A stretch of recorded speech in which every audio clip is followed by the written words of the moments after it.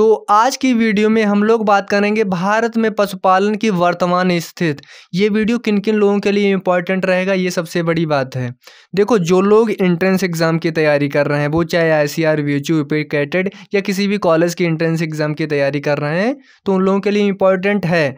लेकिन दोस्तों, जो लोग बोर्ड की तैयारी कर रहे हैं, उन लोगों के लिए इम्पोर्टेंट नहीं है। बट अगर अपनी जानकारी के लिए अगर वो पढ़ना चाहते हैं तो कम से कम ये बात तो पता होनी चाहिए कि हमारे एग्रीकल्चर में एनिमल हस्बेंड्री मतलब कृषि पशुपालन की क्या स्थिति है हमारे देश में? तो इसके लिए वो वो लोग भी पढ़ सकते हैं। तो स्टार्ट करते हैं। सबसे पहला हमारा पॉइंट आता है एन डबल एस ओ के अड़सठवें दौर के सर्व सर्वेक्षण के अनुसार सोलह पॉइंट चवालीस मिलियन लोग पशुपालन, मिश्रित खेती तथा मत्स्यन संबंधी गतिविधियों में संलग्न है। मत्स्य खेती। देखो, यहाँ पे सबसे पहला इसमें पॉइंट आता है एन डबल एस ओ होता क्या है, ये जान लीजिए। इसकी दोस्तों, फुल फॉर्म होती है नेशनल सैंपल सर्वे ऑफ़िस क्या होती है दोस्तों? नेशनल सैंपल सर्वे ऑफ़िस अगर हम इसकी हिंदी में बात करें तो राष्ट्रीय नमूना सर्वेक्षण कार्यालय कहा जाता है। ठीक है, जब अड़सठवा सर्वेक्षण किया गया मतलब सर्वे किया गया तो उसमें यह देखा गया कि सोलह पॉइंट चवालीस मिलियन लोग पशुपालन मतलब दोस्तों एनिमल हस्बेंड्री मतलब पशुओं को पाल रहे हैं और मिश्रित खेती। मिश्रित खेती का मतलब दोस्तों क्या होता है? देखो, जो दोस्तों खेती और उसके साथ में जैसे मुर्गी पालन हो गया या दोस्तों गाय पालन या मतलब डेयरी हो गया ऐसे बोल सकते हैं, किसी भी कार्य को कर रहे हो, ठीक है, उसको अलग से, ठीक है तो उसको क्या बोल दिया जाता है? मिश्रित खेती कहा जाता है। खेती के साथ साथ दूसरा कोई कार्य करने को दोस्तों मिश्रित खेती कहा जाता है, ये बात याद रखना, ठीक है। उसमें चाहे तुम्हारा मत्स्य, जो फ़िश मतलब कि फिशेस संबंधी कार्य कर रहे हैं, उसको भी कहा जाता है। ठीक है, दूसरा हमारा पॉइंट इसमें आता है कि यह कुल जीडीपी में चार परसेंट की तथा कृषि में जीडीपी में पच्चीस परसेंट का अंश दान करता है। अब दोस्तों, सबसे पहले बात आती है कि जीडीपी की फुल फॉर्म क्या होती है, ये क्वेश्चन हो सकता है। हो नहीं सकता है अक्सर पूछ भी लिया जाता है यूपी गार्डन में तो ये क्वेश्चन आ भी सकता है। इस जीडीपी की फुल फॉर्म क्या होती है तो ग्रॉस क्या होती है? ग्रॉस डोमेस्टिक प्रोडक्ट होती है। अगर इसकी हिंदी में बात करें तो सकल घरेलू उत्पादन बोला जाता है। ठीक है, इतनी बात समझ में आ गई? तो आगे बढ़ते हैं।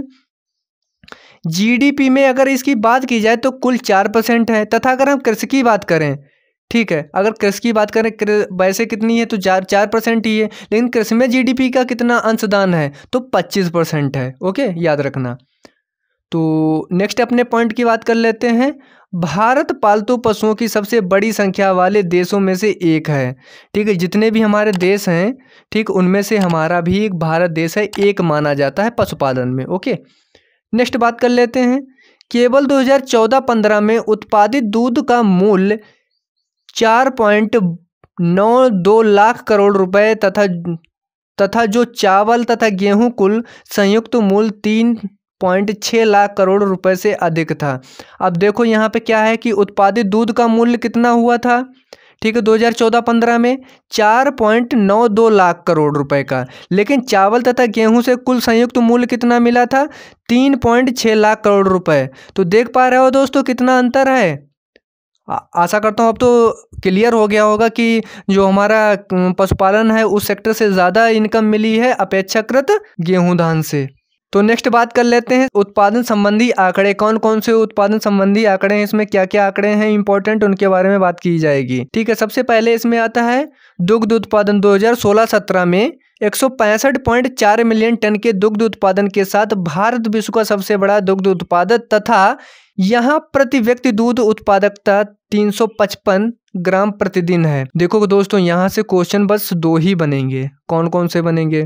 पहला तो बनेगा कि 2017 में मतलब 2016 और 17 में कितने मिलियन टन का दूध उत्पादन हुआ था? तो आप लोगों को आशा करता हूँ समझ में आ गया होगा, एक मिलियन टन। दूध उत्पादन हुआ। लेकिन यहाँ पे मोस्ट इंपॉर्टेंट अगर सबसे बड़ा क्वेश्चन रहेगा तो ये रहेगा कि विश्व में इसका दुग्ध उत्पादन में सबसे बड़ा योगदान रहा है लेकिन मोस्ट इंपॉर्टेंट क्या हो रहेगा कि प्रति व्यक्ति कितना दूध उत्पादन हुआ हो, हो रहा है। अब प्रति व्यक्ति का मतलब जो लोग जॉब कर रहे हैं वो दुग्ध उत्पादन नहीं कर रहे जो भैंस और गाय को नहीं पाल रहे हैं वो दुग्ध उत्पादन नहीं कर रहे हैं। लेकिन एक एवरेज लगाया जाता है कि प्रति व्यक्ति कितना दूध उत्पादन कर रहा है। तो दोस्तों तीन सौ पचपन ग्राम प्रतिदिन हर व्यक्ति दूध उत्पादन करता हूँ ये आंकड़ा लगाया गया है ठीक है? किसके द्वारा? एन डबल एसओ के द्वारा ठीक है? जिसकी फुल फार्म है national sample survey office next दोस्तों बात कर लेते हैं अंडा उत्पादन में। तो अंडा उत्पादन में अट्ठासी पॉइंट एक अरब प्रति व्यक्ति उपलब्धता है। अब देखो, प्रति व्यक्ति के अनुसार यहाँ पर भी देखा गया तो प्रति व्यक्ति का मतलब ये नहीं है कि हर व्यक्ति अंडा उत्पादन करवा रहा है, मुर्गी पालन करके, ऐसा नहीं है, लेकिन एवरेज में वही लगाया जाता है। ठीक है? तो 2016-17 में क्या हुआ कि छाछठ अंडे प्रतिवर्ष थी। ठीक है? कि प्रतिवर्ष इतने अंडे हो रहे थे। अगर हम बात कर लें ऊन उत्पादन की 2017-18 में तैंतालीस पॉइंट पाँच मिलियन किलोग्राम मतलब कि अगर सत्रह अठारह की अगर बात की जाए तो ऊन उत्पादन में जो भारत देश की योगदान रहा है, वो तैंतालीस पॉइंट पाँच मिलियन किलोग्राम रहा है। ठीक है, अगर मांस उत्पादन की बात करें, दो हज़ार पंद्रह सोलह में तो सात मिलियन टन रहा है। ठीक है, ऊन उत्पादन की अगर हम फिर से बात करें तो दो हज़ार सत्रह एवं अठारह में, अब यहाँ पे भी वही सेम लिखा हुआ है कि तैंतालीस पॉइंट पाँच मिलियन किलोग्राम रहा है, मांस उत्पादन सात मिलियन टन रहा है। दो बार लिखा है, लेकिन कोई बात नहीं है। मतलब समझ में आना चाहिए सिंपल सी बात है। तो दोस्तों, अपने हम नेक्स्ट पॉइंट की बात करें। तो मत्स्य उत्पादन मतलब फिशरीज के बारे में बात की जाए तो इसमें क्या योगदान है भारत देश का? भारत विश्व का दूसरा सबसे बड़ा मत्स्य मतलब फिशरीज में विश्व में दूसरे स्थान पे भारत देश हमारा आता है। इसमें समुद्री प्लस मीठे जल की बात की जाएगी कि कितना कितना इसमें उत्पादन मिला है। अगर हम बात करें या मीठे जल की मछलियों का भी सबसे बड़ा उत्पादक रहा है। मीठे जल की जितनी भी मछलियाँ, उनका भी बहुत ज़्यादा योगदान भारत देश में रहा है।